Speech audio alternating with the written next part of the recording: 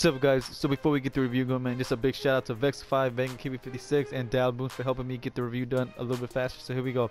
Jermaine Johnson, Easter Edition, 91 overall, dual style pass rush, run stuff style, 6'2", 94 speed, 95 XL, 88 zone, 83 catch, 90 play rate, 95 man, 93 agility, and 85 press.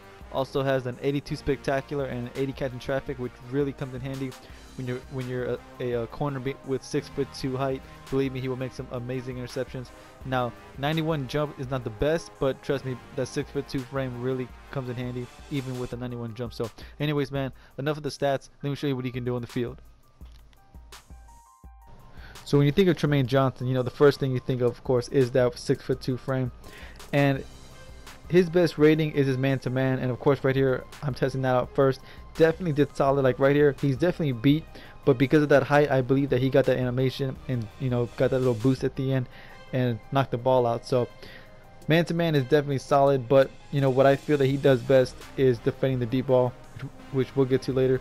This right here is to show off his hands believe me had zero dropped interceptions and I don't think that he'll drop any for you at least not too many. Now right here you know like I said he will get picks whether he jumps up and you know um, fights for it or he'll jump the route like these right here and get it. Now he's not the most aggressive corner, so don't expect him to you know jump too many routes. But if that ball's in the air, believe me, you have a good chance of picking it off, especially if you click on him. Now, if you want to put him in the slot, I guess you can do that. You know he'll he'll do fine, but I think that would be you know just a waste because like I said, a six foot two corner that's great at stopping the deep ball would be so much better used out wide. And even though I'm not a big fan of it, I guess you could definitely put him at safety. And right here, he got killed with that press. So also don't try to put him in press or don't try to press receivers with him. 85 press is not going to cut it. He will get burned a lot, so don't try to do that. This right here, trust me, yes, he will. You know, as good as he did, or as good as he was at picking up the ball, man, he would definitely get beat from time to time.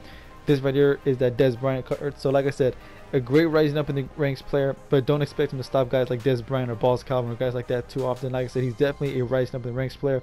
But this right here is what he did best, as I mentioned before, stopping the deep ball, which is what so many guys do nowadays. You know, they're just completely abusing the aggressive catch. So, like I said, if you need a good player, man, at stopping the uh, the deep ball, you can put him out wide or put him at safety, I suppose, if you need help stopping the deep ball. You know, if that's something you're struggling with, put him out wide and watch him just go do damage. And this right here is what I said, you know, the best way to use them. Put them out wide, click on them if you want to, and just abuse the six foot two frame, jump up and cut off, cut off the route and get the pick.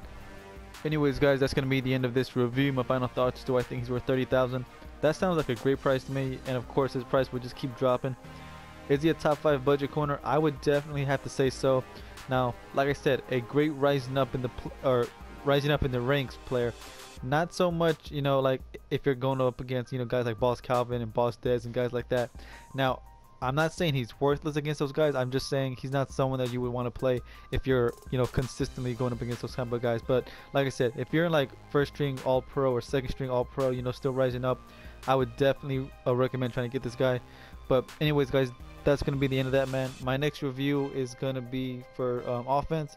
It's going to be the signature Lamar Miller. Defense, it's going to be the signature Clay Matthews. Those reviews could be coming out tomorrow.